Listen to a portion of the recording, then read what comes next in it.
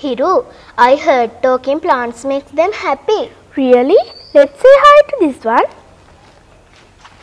Hello, Mr. Plant. How are you today? It's probably saying I need water.